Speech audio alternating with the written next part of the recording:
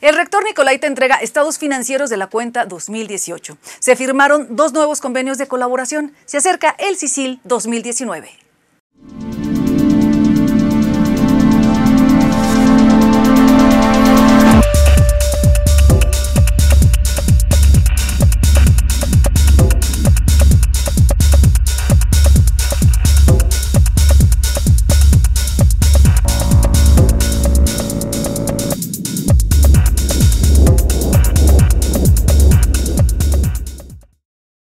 Amigos, ¿cómo están? Es un honor saludarlos cada semana en este espacio universitario. Los Nicolaitas, con carácter universitario. Le transmito un saludo a nombre de cada uno de mis compañeros en esta emisión. Ya iniciamos. Es con el compromiso de fortalecer la transparencia, la rendición de cuentas y el orden administrativo que el rector Raúl Cárdenas Navarro hizo entrega de los estados financieros dictaminados de la cuenta 2018 de la Universidad Michoacana. Esto allá en la Ciudad de México ante las autoridades federales enhorabuena. Les quiero comentar que, por otra parte, el titular Nicolaita dio a conocer la colaboración que tendrá la Casa de Hidalgo con la Universidad Politécnica de Valencia. Es una de las instituciones mejor ranqueadas a nivel mundial. Una oportunidad para estudiantes nicolaitas de cursar parte de sus estudios fuera del país con reconocimiento oficial es producto del convenio de colaboración que tiene la Universidad Michoacana de San Nicolás de Hidalgo con la Universidad Politécnica de Valencia una de las instituciones más importantes y reconocidas de España. Así lo anunció el rector Nicolaita Raúl Cárdenas Navarro. En este sentido, explicó que el vínculo se realiza a través del posgrado con el programa de maestría en Ingeniería de los Recursos Hídricos, con lo que los jóvenes estudiantes tendrán la posibilidad de tener una doble titulación por ambas universidades.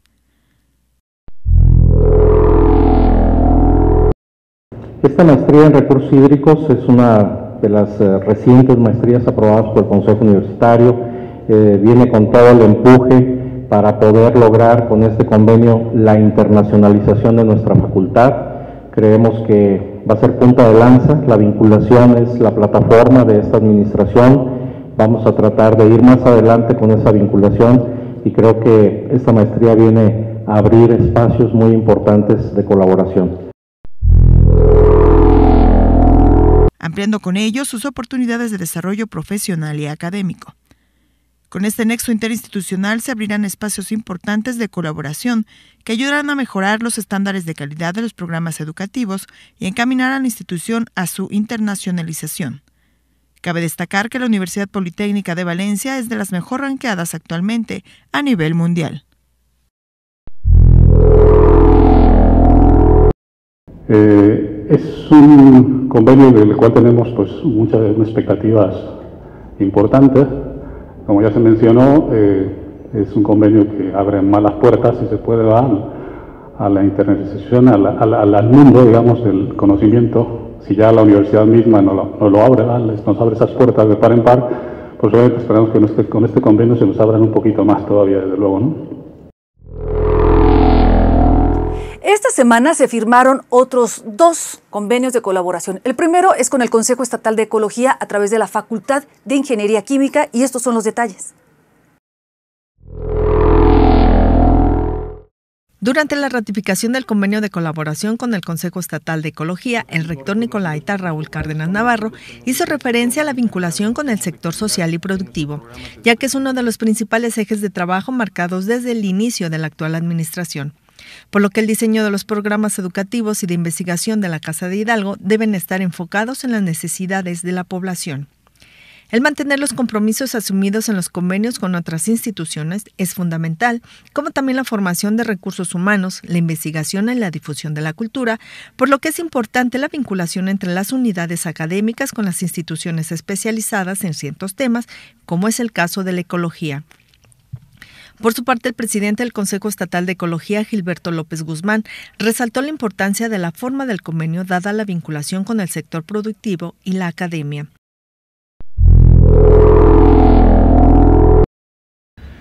Y esa vinculación con el sector productivo nos parece que es lo que nos hace falta, eh, atendiendo un poco a su formación un tema que hemos sido recurrentemente incisivos en tratarlo y que es una tarea pendiente, por cierto, que tenemos, porque la Universidad Michoacana también forma parte del COESPLAFEST, que es el organismo estatal que atiende todo lo que la correcta uso y aplicación de los fertilizantes, sustancias tóxicas. El director de la Facultad de Ingeniería Química, Javier Lara Romero, mencionó que este convenio vendrá a beneficiar principalmente a los estudiantes, dada la necesidad de espacios para que los alumnos pongan en práctica los conocimientos. Agregó que la facultad pone a disposición también al Consejo la experiencia y capacidad de su planta docente, así como sus laboratorios para apoyar el desarrollo de proyectos en materia ambiental que beneficien a la sociedad. De igual forma, se signó un convenio con la Comisión Forestal del Estado a través del Instituto de Investigaciones Agropecuarias y Forestales para la realización de actividades académicas, servicio social, impulso a proyectos de investigación y en la parte también ambiental y forestal. Esto ocurrió El rector Nicolaita Raúl Cárdenas Navarro, durante la ratificación del convenio de colaboración con la Comisión Forestal de Michoacán, COFOM, comentó que nuestro estado es una de las entidades con mayor riqueza forestal en el país e impulsará a los profesionistas nicolaitas con el perfil adecuado para apuntalar un recurso tan importante como es el forestal. La Casa de Hidalgo cuenta con una alta capacidad en el área de investigación, con profesores de reconocida calidad a nivel nacional e internacional, así como diversos programas educativos de licenciatura, maestría y doctorado, enfocados en la formación de recursos humanos en el tema forestal, por lo que confió que uniendo experiencias se pueda generar un beneficio social. Alejandro Ochoa Figueroa, director general de la Comisión Forestal del Estado de Michoacán, agradeció la apertura a la Casa de Hidalgo en esta colaboración y destacó que desde ahora se tiene el compromiso de brindar esquemas de capacitación, así como otras actividades académicas como prestación de servicio social, impulso a proyectos de investigación en la parte ambiental y forestal, así como respaldo a la elaboración de tesis de posgrado.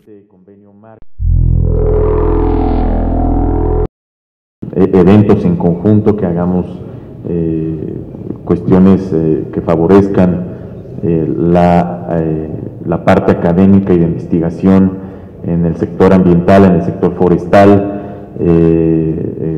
también estaremos nosotros de cerca apoyando a, los estudiantes en sus tesis doctorales. tenemos ahí un recinto en donde eh, tenemos bueno, un archivo histórico, fotográfico también, que eh, muchos estudiantes de la Universidad Michoacana han estado consultando para, sus, eh, para la elaboración de sus tesis. Agregó que es fundamental el apoyo a la investigación porque sin ella no habría bases para establecer políticas públicas que permitan mejorar el desarrollo forestal en Michoacán. Por su parte, Samuel Pineda Guillermo, director del Instituto de Investigaciones Agropecuarias y Forestales, dijo que se colabora con la COFOM desde hace unos años a través de proyectos relacionados con cambio climático, entre otros temas, por lo que esta ratificación permitirá la elaboración y desarrollo de proyectos de investigación, transferencia de tecnología, conservación, restauración, manejo y aprovechamiento de recursos forestales en el Estado. Vamos a hacer esta pausa, es muy breve, tenemos mucho más que ofrecerle aquí en Los Nicolaitas.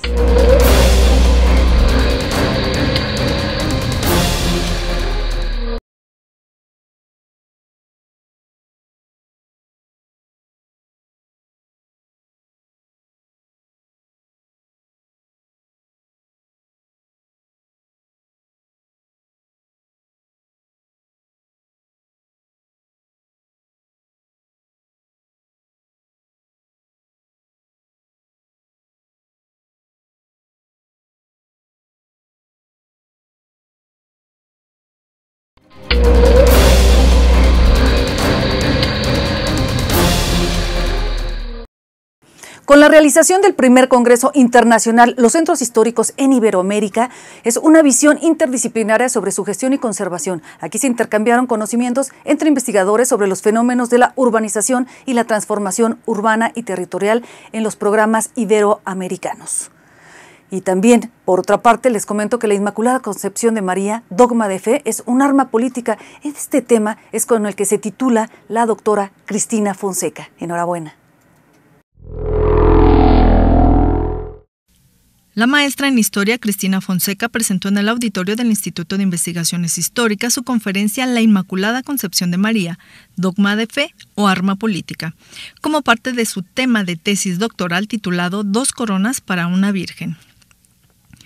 Durante su exposición, Fonseca mencionó que su tesis la basó en dos vírgenes que son las más representativas del estado de Michoacán, la Virgen de la Esperanza de Jacona y la Virgen de la Salud de Pátzcuaro, haciendo un análisis de las coronaciones que corresponden a los pleitos internos del clero michoacano de la época.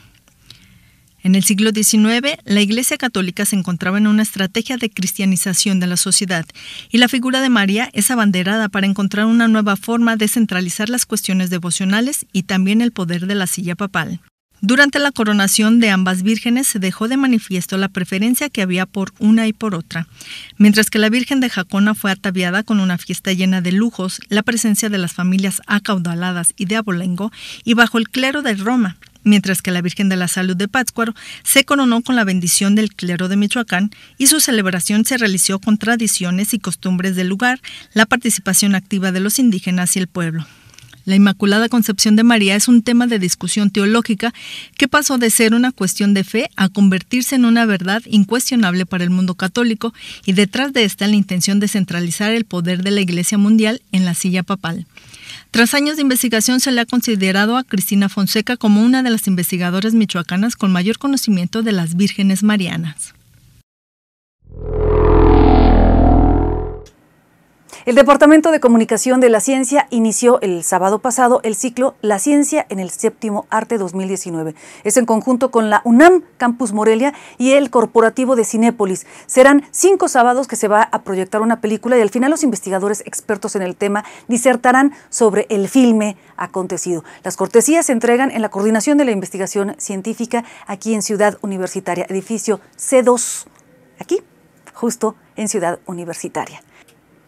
Son los días 3 y 4 de octubre que la Dirección General de Bibliotecas realizará el Seminario Institucional. Es el número 8 de este Seminario Institucional de Servicios de Información en Línea, CICIL 2019.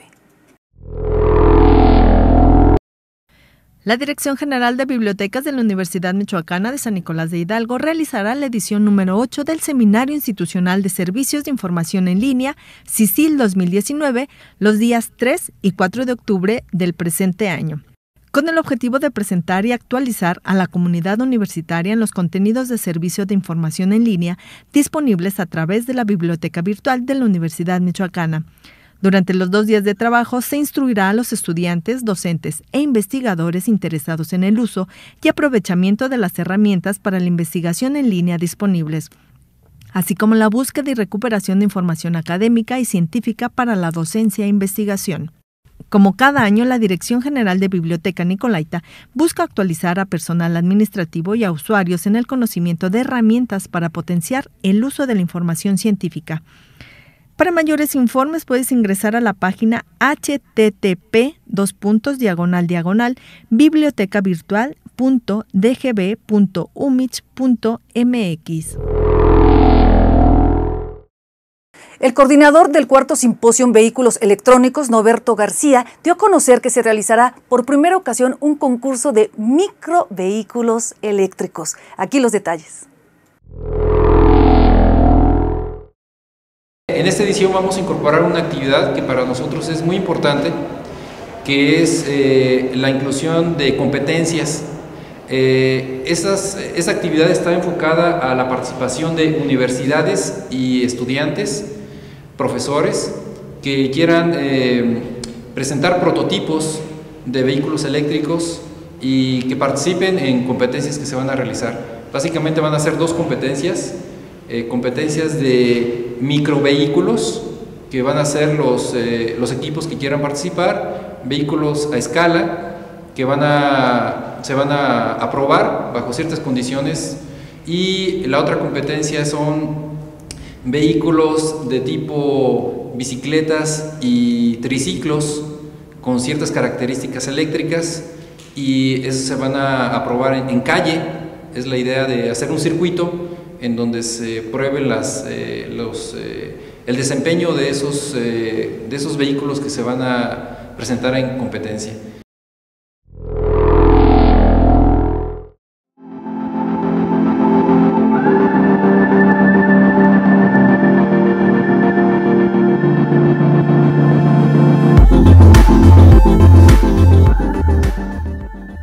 Con 60 décadas a cuesta, la Hemeroteca Pública Universitaria Mariano de Jesús Torres se ha convertido en un referente estatal y nacional por su vasta gama de publicaciones antiguas y de actualidad.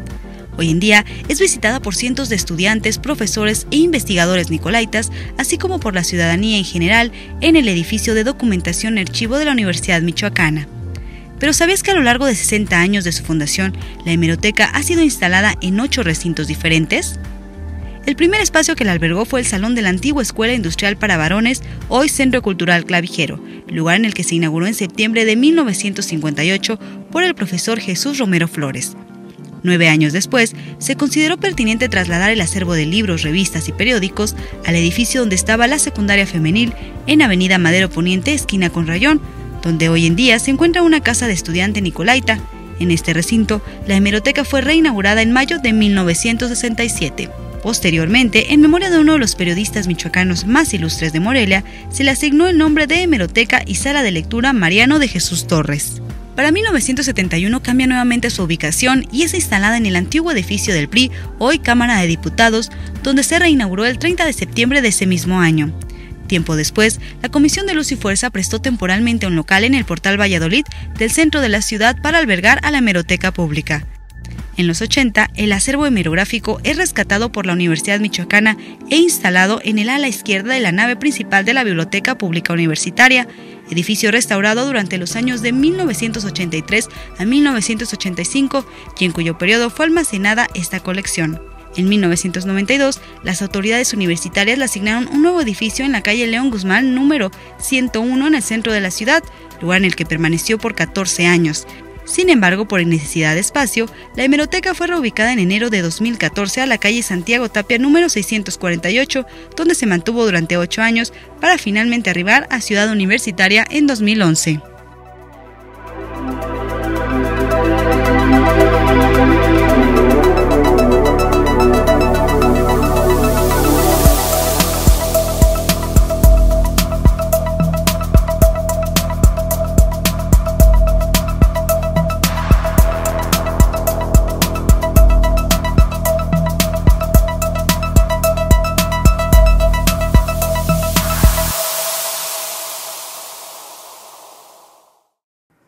Regresamos aquí a este programa universitario. Tenemos mucho más que ofrecerle. Lo esperamos.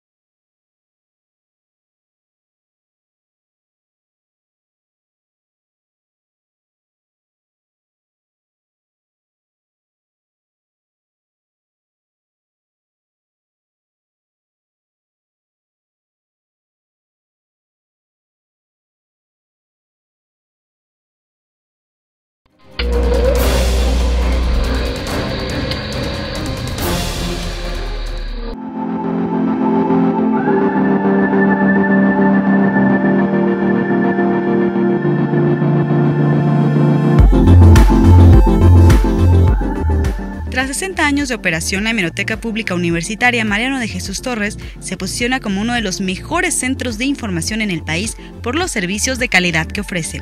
Muestra de ello es que este fue el primer espacio de la Dirección General de Bibliotecas de la máxima casa de estudios de la entidad que logró la certificación Norma ISO 9001 en el año 2005. Así, la colección hemerográfica cumplió con uno de los compromisos asumidos por la Universidad Michoacana ante el gobierno federal referente al Plan Integral de Fortalecimiento Institucional y se apega además al Plan Estratégico del Sistema Bibliotecario. Aunado a lo anterior, este sistema de gestión de calidad ha sido distinguido en dos ocasiones con el primer lugar nacional por la Secretaría de Educación Pública con el reconocimiento a la mejora de gestión en sus versiones 2008 y 2011, entre más de 200 prácticas de diversas instituciones del país. Mientras que en el año 2017, en el marco del centenario de la Casa de Hidalgo, se iniciaron los trabajos de migración del sistema de gestión de calidad del sistema bibliotecario a la versión 2015 de la norma ISO 9001, con la finalidad de obtener en el mismo año la certificación. De esta manera, los usuarios de la hemeroteca universitaria pueden gozar de servicios de gran calidad, entre los que destacan las visitas guiadas, donde se muestran las instalaciones, así como las colecciones de fondo antiguo contemporáneo, Además, la ciudadanía tiene la oportunidad de acceder al préstamo de publicaciones de actualidad, tales como los periódicos Cambio de Michoacán, Provincia, La Voz de Michoacán, entre otras. Al fondo antiguo, que está dividido en tres colecciones generales, locales, nacionales y extranjeras. Asimismo encontrarán libros de Michoacán, videos, rollos de microfilm, digitalización y charlas hemerográficas.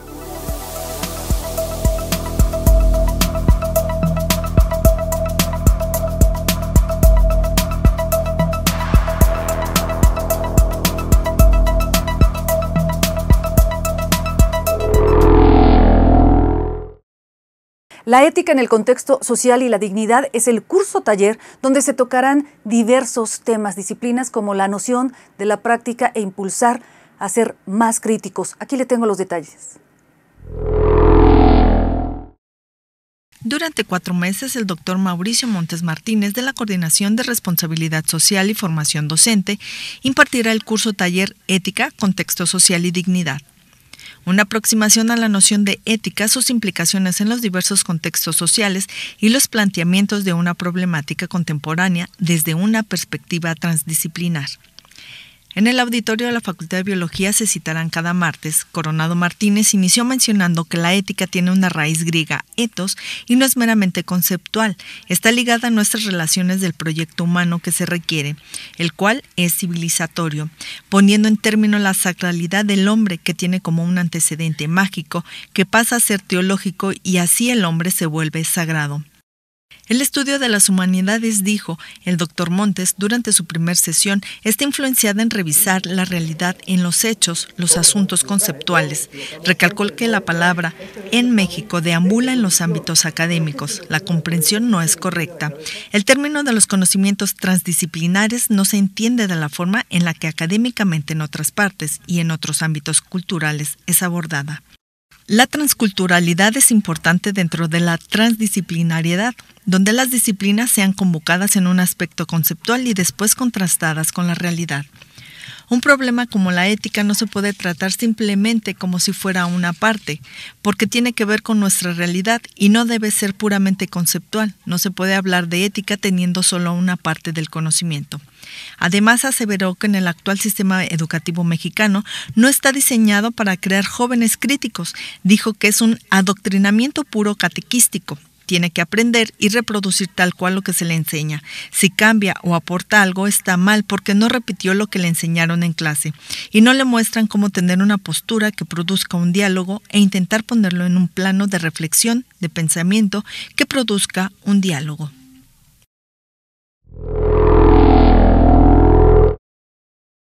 Mente sana en cuerpo sano. Esta es la filosofía de quienes realizan algún deporte y es uno de los compromisos de esta administración el incentivar a los jóvenes nicolaitas y de todas las edades ¿eh? a participar en alguna de estas disciplinas con las que cuenta la Casa de Hidalgo. Entre ellas ya tenemos la carrera atlética con motivo del aniversario de nuestra universidad. Es en voz del jefe del Departamento de Cultura Física y Deporte, Jesús Rodríguez Morelos, que nos da a conocer estas actividades. Yo le sugiero que asista a esta fiesta porque no solo vamos a hacer ejercicio, caminar, correr, de verdad que es una festividad nicolaita y de toda la sociedad en general. Aquí ya estamos listos y dispuestos para ir a correr estos 5 y 10 kilómetros. Ya está listo Toño, Yuri, Fernando, José Luis, ya estamos listos para ir.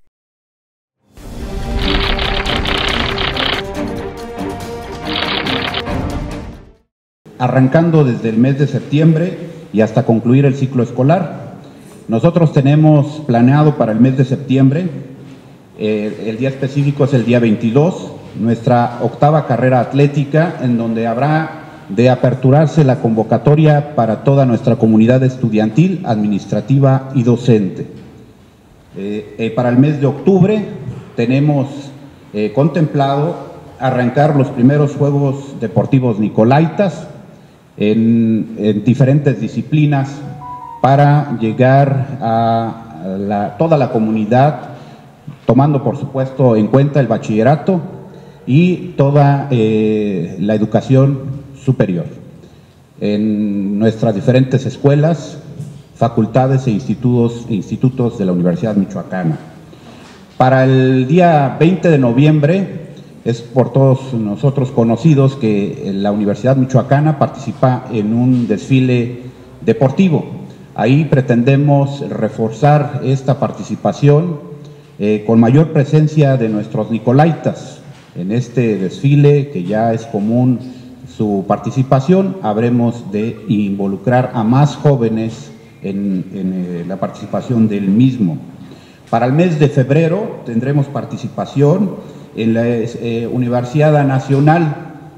Esto nos permite llegar a un impacto de motivación para toda nuestra comunidad estudiantil, pues debo de, destacar que en la universidad hemos logrado eh, el año pasado traer algunas preseas eh, con reconocimiento nacional en bronce, por lo que nos ha posicionado a nivel nacional como una de las universidades con presencia en la actividad deportiva.